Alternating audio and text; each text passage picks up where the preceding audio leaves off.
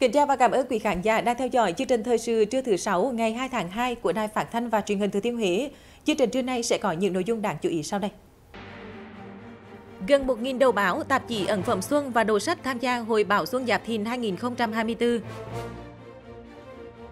Chủ tịch Ủy ban Nhân dân tỉnh thăm chúc Tết công nhân tại công trình cầu vượt sông Hương. Ngành y tế theo dõi sát sao các dịch bệnh đông xuân, dịch bệnh truyền nhiễm mới nổi. Tin chi tiết, sáng nay Thủ tướng Chính phủ Phạm Minh Chính chủ trì diễn đàn kinh tế hợp tác hợp tác xã năm 2024, diễn đàn kết nối trực tuyến đến 63 điểm cầu trong cả nước. Phó Chủ tịch Ủy ban Nhân dân tỉnh Phan Quỷ Phương chủ trì tại điểm cầu Thừa Thiên Huế. Phát biểu khai mạc tại diễn đàn, Thủ tướng Chính phủ Phạm Minh Chính nhấn mạnh phát triển kinh tế tập thể luôn là mục tiêu xuyên suốt của Đảng, Nhà nước và Chính phủ ta, thể hiện qua các chủ trương đường lối của Đảng, chính sách và pháp luật của nhà nước. Kinh tế tập thể không chỉ giúp ổn định và phát triển sản xuất kinh doanh, mà còn tạo việc làm, tăng thu nhập, hỗ trợ xóa đói giảm nghèo, ổn định đời sống của thành viên. Thủ tướng khẳng định, kinh tế tập thể đã có nhiều đóng góp cho nền kinh tế của đất nước, nhưng chưa cao, quy mô sản xuất nhỏ, sức cạnh tranh sản phẩm trên thị trường chưa cao. Tại diễn đàn này, Thủ tướng đề nghị các bộ, ngành và địa phương cần phân tích chỉ ra những khó khăn tồn tại nhằm tháo gỡ cho lĩnh vực kinh tế tập thể. Cần hiện kể những giải pháp hữu ích nhằm thúc đẩy kinh tế phát triển một cách hiệu quả bền vững. Đến ngày 31 tháng 12 năm 2022, cả nước có 29.378 hợp tác xã, 125 liên hiệp hợp tác xã và 71.000 tổ hợp tác. Doanh thu bình quân của các hợp tác xã đạt 3.592 triệu đồng một hợp tác xã một năm. Lãi bình quân của hợp tác xã là 366 triệu đồng một hợp tác xã một năm. Riêng tỉnh Thừa Thiên Huế đến thời điểm này có 320 hợp tác xã, doanh thu bình quân của hợp tác xã năm 2023 ước đạt 3,3 tỷ đồng, lãi bình quân 165 triệu đồng một hợp tác xã. Thông qua diễn đàn, đại diện Liên minh Hợp tác xã Việt Nam cũng đã trình bày kiến nghị của cộng đồng hợp tác xã về việc tiếp cận chính sách hỗ trợ của nhà nước, thực trạng triển khai cơ chế chính sách và đề xuất nội dung hoàn thiện chính sách hỗ trợ hợp tác xã trong lĩnh vực nông nghiệp. Nhân kỷ niệm 94 năm ngày thành lập Đảng Cộng sản Việt Nam, ngày 3 tháng 2 năm 1930, ngày 3 tháng 2 năm 2024, sáng ngày 2 tháng 2, đoàn đại biểu lãnh đạo tỉnh đã tổ chức dân hương tri ân các anh hùng liệt sĩ tại nghĩa trang liệt sĩ thành phố Huế. Tham dự có đồng chí Lê Trường Lưu, Ủy viên Trung ương Đảng, Bí thư tỉnh ủy, Chủ tịch Hội đồng nhân dân tỉnh, trưởng đoàn đại biểu Quốc hội tỉnh, đồng chí Phan Ngọc Thọ, Phó Bí thư Thường trực tỉnh ủy, đồng chí Nguyễn Văn Phương, Phó Bí thư tỉnh ủy, Chủ tịch Ủy ban nhân dân tỉnh. Tham dự còn có cả đồng chí trong ban thường vụ tỉnh ủy, thường trực Hội đồng nhân dân tỉnh, Ủy ban nhân dân tỉnh, Ủy ban Mặt trận Tổ quốc Việt Nam tỉnh, các ban ngành đoàn thể tỉnh thành phố Huế, cán bộ chiến sĩ lực lượng vũ trang và đông đảo cán bộ đảng viên nhân dân địa phương. Trước khi bước vào buổi lễ, các đồng chí lãnh đạo tỉnh đã thỉnh chuông tại tháp chuông hòa bình, cầu mong quê hương bình an, năm mới thắng lợi mới. Trong không khí trang nghiêm thành kính trước an linh của các anh hùng liệt sĩ, các đồng chí lãnh đạo tỉnh, lãnh đạo các ban ngành đoàn thể, lực lượng vũ trang tỉnh đã thanh kính dân hoa, dân hương và dành phút mặc niệm để tưởng nhớ công lao trời biển của các anh hùng liệt sĩ đã anh dũng hy sinh vì sự nghiệp giải phóng dân tộc, thống nhất đất nước. Sự hy sinh của các anh hùng liệt sĩ đã làm nên những chiến công hào hùng là niềm tự hào của toàn đảng, toàn quân và toàn dân. Sau lễ dân hoa dân hương tại đài liệt sĩ, các đồng chí lãnh đạo tỉnh cùng các đại biểu đã kính cẩn dân hương từng phần mộ liệt sĩ. Trước sự hy sinh to lớn của các liệt sĩ, Đảng bộ chính quyền và nhân dân tỉnh mãi mãi ghi nhớ và biết ơn sâu sắc đến các anh hùng liệt sĩ, đồng thời tiếp tục phát huy truyền thống đoàn kết một lòng, ra sức xây dựng quê hương ngày càng giàu đẹp, phát triển, quyết tâm thực hiện thắng lợi nghị quyết 54 của Bộ Chính trị, đưa tỉnh Thừa Thiên Huế lên thành phố trực thuộc Trung ương. Sáng cùng ngày tại Bảo tàng Hồ Chí Minh, tỉnh ủy, Hội đồng nhân dân, Ủy ban nhân dân, Ủy ban Mặt trận Tổ quốc Việt Nam tỉnh và thành phố Huế tổ chức trọng thể lễ dân hoa lên Chủ tịch Hồ Chí Minh. Trong không khí trang nghiêm, các đồng chí lãnh đạo tỉnh và thành phố Huế đã dâng lặng hoa tươi thắm lên Chủ tịch Hồ Chí Minh, thanh kính tưởng nhớ công ơn vì lãnh tụ kính yêu của toàn Đảng, toàn quân và nhân dân.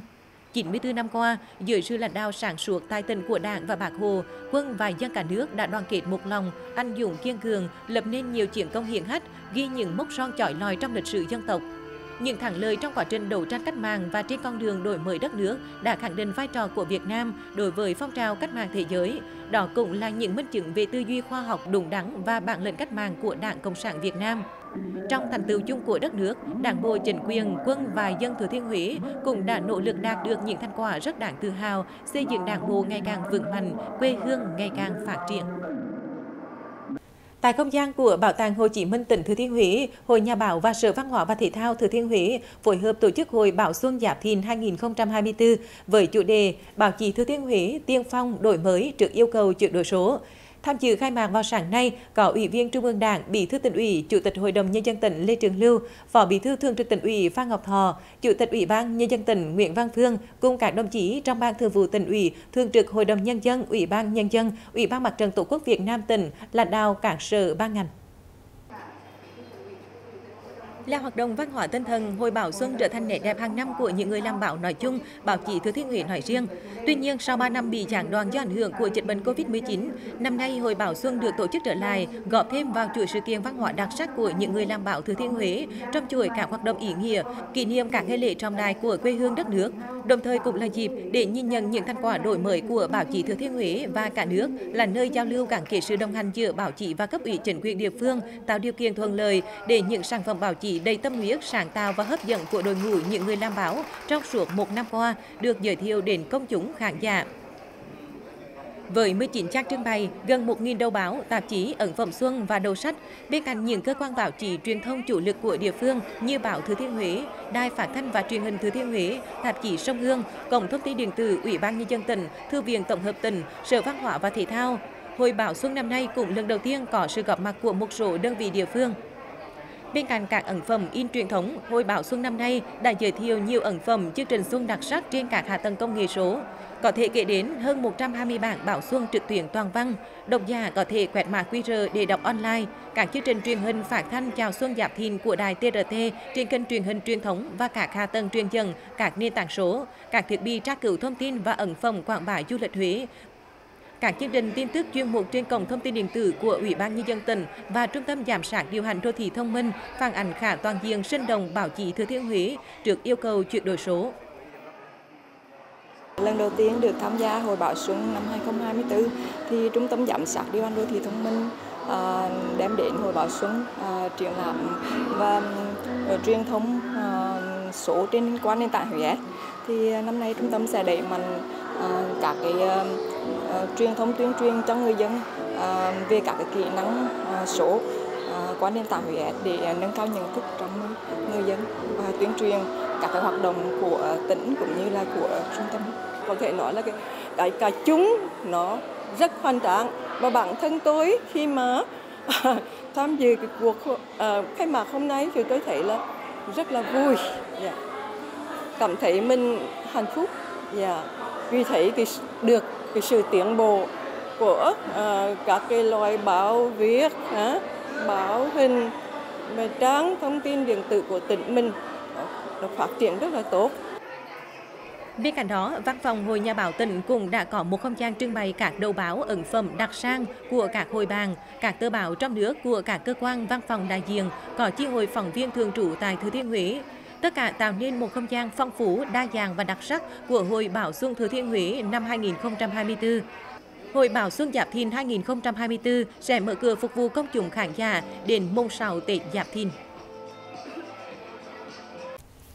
Sáng ngày 2 tháng 2, Ủy viên Trung ương Đảng, Bí thư tỉnh ủy, Chủ tịch Hội đồng nhân dân tỉnh, trưởng đoàn đại biểu Quốc hội tỉnh Lê Trường Lưu đã có buổi tiếp đoàn Giáo hội Phật giáo Việt Nam tỉnh Thừa Thiên Huế do Hòa thượng Thích Khể Chân, Phó Chủ tịch Hội đồng trị sự Giáo hội Phật giáo Việt Nam, trưởng ban Giáo hội Phật giáo tỉnh Thừa Thiên Huế làm trưởng đoàn đã đến thăm chúc Tết và chúc mừng nhân ngày thành lập Đảng ngày 3 tháng 2.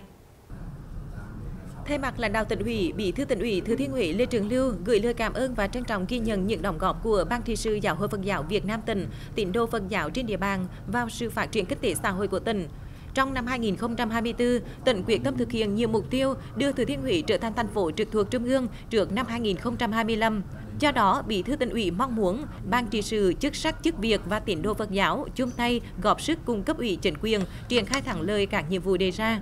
Nhân dịp năm mới Giáp Thìn, Bí thư tỉnh ủy Lê Trường Lưu chúc toàn thể tăng ni Phật tử đón xuân Giáp Thìn 2024 an lành, hạnh phúc và công tác đạo sư đạt nhiều thành công mới. Trong không khí ấm áp của mùa xuân mới, Hòa thượng Thích Khế Chân thay mặt tăng ni Phật tử chúc lãnh đạo tỉnh Thừa Thiên Huế đón Tết Nguyên đán Giáp Thìn 2024 vui tươi, hạnh phúc, vang sư cát tường. Đồng thời cảm ơn lãnh đạo tỉnh, các sở ban ngành và địa phương luôn tạo điều kiện thuận lợi để ban trị sự các chức sắc chức việc, tín đồ Phật giáo thực hiện tốt phương châm hành đạo, đạo pháp, dân tộc, chủ nghĩa xã hội, tham gia các phong trào thi đua yêu nước, góp sức xây dựng quê hương Thừa Thiên Huế ngày càng phát triển. Nhân dịp Tết Nguyên đán Giáp Thìn, Phó Bí thư tỉnh ủy, Chủ tịch Ủy ban nhân dân tỉnh Nguyễn Văn Phương đã đến thăm chúc Tết và tặng quà Trung tâm Bảo trợ xã hội tỉnh và giáo sư Sơn Quả xã Phong Sơn, huyện Phong Điền. Đến thăm Trung tâm Bảo trợ xã hội tỉnh, lãnh đạo trung tâm đã báo cáo nhanh tình hình hoạt động trong thời gian vừa qua. Theo đó, như phối hợp tốt với các đơn vị liên quan đến công tác tiếp nhận, quản lý, nuôi dưỡng, phối hợp điều trị và phục hồi chức năng cho người khuyết tật thần kinh tâm thần tiếp nhận quản lý giáo dục, chữa bệnh cai nghiện và dạy nghề cho đối tượng ma túy được thuận lợi hơn. Chủ tịch Ủy ban nhân dân tỉnh Nguyễn Văn Phương ghi nhận biểu dương và đánh giá cao kết quả đạt được của Trung tâm Bảo trợ xã hội trong năm vừa qua và chia sẻ động viên với tập thể lãnh đạo viên chức, người lao động tiếp tục nỗ lực vượt qua khó khăn, đoàn kết chăm lo tốt hơn nữa cho các đối tượng. Thăm chúc Tết tại giáo sứ Sơn Quả, xã Phong Sơn, huyện Phong Điền, Chủ tịch Ủy ban nhân dân tỉnh Nguyễn Văn Phương gửi lời chúc mừng đến linh mục và bà con giáo dân đón Tết vui tươi, đầm ấm, an lành và hạnh phúc. Chủ tịch tỉnh mong muốn thời gian tới, giáo sứ Sơn Quả tiếp tục phát huy truyền thống yêu nước, sống tốt đời đẹp đạo, tích cực tham gia xây dựng xã hội trật tự kỷ cương, văn hóa, văn minh, góp phần thực hiện thắng lợi nhiệm vụ phát triển kinh tế xã hội, đảm bảo quốc phòng an ninh của địa phương. Chiều tối cùng ngày, Chủ tịch Ủy ban nhân dân tỉnh Nguyễn Văn Phương đã đến thăm chúc Tết Đảng bộ chính quyền và nhân dân Ủy ban nhân dân xã Phong Sơn, xã vừa được công nhận đạt chuẩn nông thôn mới.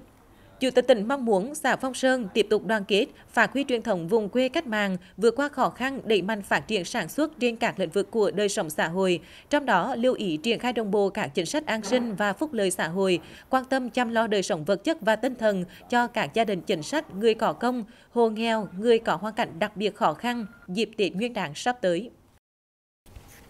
Thăm chúc Tết công nhân đang thi công công trình cầu vượt sông Hương, Phó Bí thư tỉnh ủy, Chủ tịch Ủy ban nhân dân tỉnh Nguyễn Văn Phương ghi nhận những nỗ lực vượt qua khó khăn để đẩy nhanh tiến độ thi công công trình trọng điểm của tỉnh. Cầu vượt sông Hương sau khi hoàn thành sẽ góp phần hoàn thiện mạng lưới giao thông, chống ùn tắc, giảm tải lưu lượng cho tuyến quốc lộ 1A và các tuyến qua trung tâm thành phố Huế. Ngoài ra, cầu còn giúp hình thành và phát triển các đô thị vệ tinh, khu đô thị mới phía Tây thành phố Huế, phát triển kinh tế xã hội, du lịch dịch vụ, cải thiện đời sống dân sinh. Đến thăm cán bộ công nhân trên công trình, đoàn công tác ghi nhận có gần 200 kỹ sư công nhân của các đơn vị thi công, giám sát cùng nhiều phương tiện cơ giới vẫn miệt mài làm việc. Chủ tịch Ủy ban Nhân dân tỉnh Nguyễn Văn Phương đánh giá rất cao sự nỗ lực, công tác phối hợp giữa các đơn vị với chính quyền địa phương trong quá trình triển khai thi công công trình. Tiến độ công trình đến thời điểm này được đảm bảo, nhất là việc khắc phục khó khăn để đẩy nhanh và đảm bảo tiến độ thi công. Thay mặt lãnh đạo tỉnh, Chủ tịch tỉnh Nguyễn Văn Phương xin chúc cả công nhân về quê sum họp gia đình, Tết Nguyên đán Giáp Thìn 2024 mạnh khỏe, an khang, thịnh vượng. Đoàn đại biểu của huyện ủy, Hội đồng Nhân dân, Ủy ban Nhân dân, Ủy ban Mặt trận Tổ quốc Việt Nam huyện Phong Điền đã đặt vòng hoa dân hương tưởng nhớ tri ân 13 liệt sĩ đã dũng cảm hy sinh tại tiểu khu 67 trong khi làm nhiệm vụ tìm kiếm cứu nạn 17 công nhân mất tích tại thủy điện Rào Trang Ba, xã Phong Xuân, huyện Phong Điền. Đứng trước anh linh của 13 liệt sĩ, các đồng chí lãnh đạo huyện Phong Điền hứa sẽ tiếp tục nỗ lực phấn đấu tu dưỡng, rèn luyện, học tập, nâng cao trình độ mọi mặt, hoàn thành tốt nhiệm vụ mà các anh còn dang dở, nguyên là ngọn đũa của lòng quả cảm, tiếp tục noi gương các anh. Đảng bộ chính quyền và nhân dân huyện Phong Điền nguyện đoàn kết sáng tạo, phấn đấu vượt qua mọi khó khăn, thực hiện thẳng lời nhiệm vụ phát triển kinh tế xã hội, góp phần xây dựng huyện Phong Điền ngày càng văn minh, giàu đẹp và trở thành thị xã trước năm 2025.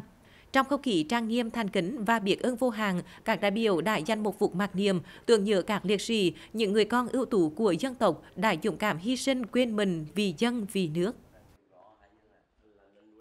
Liên đoàn Lao động thị xã Hương Trà, huyện Phú Lộc tổ chức chương trình Tết Xuân Vầy Xuân chia sẻ cho đoàn viên người lao động có hoàn cảnh khó khăn của cả công đoàn cơ sở, cơ quan, doanh nghiệp trên địa bàn huyện. Tại chương trình, Liên đoàn Lao động thị xã đã trao hỗ trợ kinh phí xây dựng nhà máy ấm công đoàn cho đoàn viên Trần Thị Huệ, đoàn viên công đoàn cơ sở, công ty trách nhiệm hữu hạn một thành viên Quang Quân với số tiền 15 triệu đồng, trao học bổng từ tủ sách tia sáng cho hai em là con của đoàn viên người lao động có hoàn cảnh khó khăn với số tiền 1 triệu đồng một em, trao 94 suất quà từ nguồn ngân sách Liên đoàn Lao động thị xã, mỗi suất 500.000 đồng cho đoàn viên người lao động có hoàn cảnh khó khăn trao 36 suất quà từ nguồn Ủy ban Mặt trận Tổ quốc Việt Nam thị xã hỗ trợ, trong đó có 6 suất, mỗi suất trị giá 500.000 đồng và 30 suất mỗi suất trị giá 300.000 đồng. Ngoài ra, các đoàn viên còn được chọn cho mình một bộ áo dài truyền thống do công đoàn viên chức tỉnh hỗ trợ. Tại chương trình đã trao 145 suất quà cho đoàn viên người lao động, trong đó Ủy ban Mặt trận Tổ quốc Việt Nam tỉnh hỗ trợ 5 suất, Ủy ban Mặt trận Tổ quốc Việt Nam huyện 20 suất, chi nhánh ngân hàng Vietinbank huyện Phú Lộc 20 suất, Liên đoàn Lao động huyện 100 suất, mỗi suất quà trị giá 500.000 đồng tiền mặt. Chủ tịch Liên đoàn Lao động huyện Phú Lộc tin tưởng năm 2024, đoàn viên người lao động huyện tiếp tục có những đổi mới sáng tạo trong sản xuất, góp phần phát triển doanh nghiệp và địa phương, đồng thời khẳng định vai trò của tổ chức công đoàn Phú Lộc sẽ ngày càng được thể hiện rõ hơn với phương châm hướng về cơ sở, lấy đoàn viên người lao động làm trung tâm, quan tâm tổ chức các hoạt động chăm lo tới đoàn viên người lao động có hoàn cảnh khó khăn, bảo vệ quyền lợi ích hợp pháp chính đáng của đoàn viên người lao động và xây dựng tổ chức công đoàn vững mạnh. Sáng nay, trường tiểu học Vĩnh Ninh, thành phố Huế tổ chức chương trình Tết đoàn viên xuân yêu thương. Tại chương trình, nhà trường đã trao 119 suất quà thông qua gian hàng hội chợ không đồng cho các em học sinh có hoàn cảnh khó khăn, học sinh lớp giáo dục chuyên biệt và các gia đình chính sách của phường Vĩnh Ninh với tổng kinh phí hơn 100 triệu đồng. Trong đó có 4 em học sinh bệnh hiểm nghèo của trường được trao mỗi em 5,5 triệu đồng. Cũng tại chương trình, nhà trường còn tổ chức hoạt động trải nghiệm làm các món mứt bánh truyền thống của Tết Huế. Sáng nay ngày 23 tháng Chạp, Trung tâm Bảo tồn Di tích Cố đô Huế tổ chức tại hiện nghi lễ dường nêu tại Triệu Tổ Miếu và hiện Lâm Cạc Thể Miếu thuộc Đại nội Huế. Đây là nghi lễ đánh dấu mở đầu cho Tết Nguyên đán. Dường nêu là nghi thức truyền thống của dân tộc và cũng là một nghi lễ quan trọng vào đầu năm mới của triều Nguyễn. Ngoài những quan niệm về tâm linh của dân gian, lễ dường nêu của triều Nguyễn còn có mục đích để bảo hiệu ngày Tết đã tới. Cây tre được chọn để dựng nêu phải cao, to và chắc. Ngọn tre được treo bùa đào, ngoài việc đề tiên thần còn dùng để đề câu đổi Tết. Được biết trên cơ sở tài liệu xưa ghi lại, Trung tâm Bảo tồn Di tích Cố đô Huế đã xây dựng một kịch bản có tính nghi thức về dựng nêu trong chốn hoàng cung nhằm tạo nên nét sinh hoạt có tính điểm nhấn, tạo không khí vui tươi vào dịp mở đầu Tết Nguyên đán. Nghi thức rước nêu được tổ chức trọng thể, 10 người lĩnh vạc nêu trong trang phục chỉnh tề, khởi hành trong âm thanh của tiểu nhạc. Tại những địa điểm triều tổ miếu và hiện lâm Các, thể miếu, hương án vật phẩm cùng đồi đài nhạc và các bôi từ đã được bay sẵn. Nghi thức dường nêu được cử hành trong không khí trang trọng. Các nghi lễ như ngân thần, khánh hà được cử hành trong âm thanh của đài nhạc. Sau phần lễ, 10 người lĩnh trong tiếng hò vô tiến hành dừng nêu lên.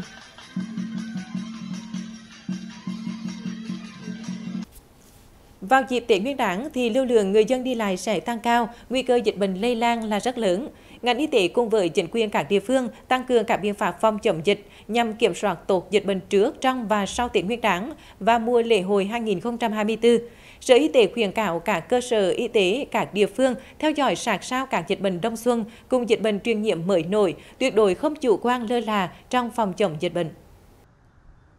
Tiết trời nắng mưa xen kẽ với những ngày cận Tết Nguyên đán là điều kiện thuận lợi cho sự phát triển và gia tăng mật độ muỗi truyền bệnh sốt xuất huyết. Tình hình dịch bệnh này có giảm so với năm trước, song vẫn nổi lên địa bàn có nhiều ca bệnh như An Cừu, Tây Lộc, Phước Vĩnh. Trước Tết Nguyên đán, Trung tâm Y tế thành phố Huế phối hợp với trạm y tế 12 xã phường tổ chức thao vẹt bò gầy và phun hóa chất diệt muỗi tại 36 tổ của 12 xã phường với hơn 11.000 hộ dân. Lực lượng chức năng còn tuyên truyền hướng dẫn cộng đồng triển khai các biện pháp phòng chống sốt xuất huyết tại gia đình.